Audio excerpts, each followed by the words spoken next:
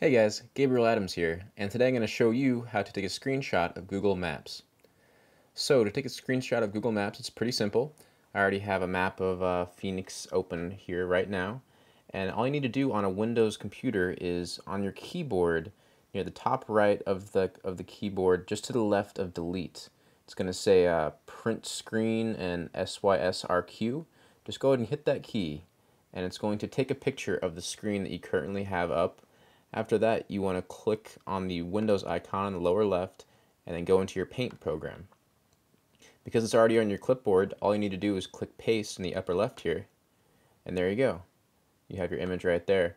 And if you need to, you can crop it down so it just has the map or uh, whatever you need. And it's just as easy as that. So, I am Gabriel Adams, and that is how you take a screenshot of Google Maps.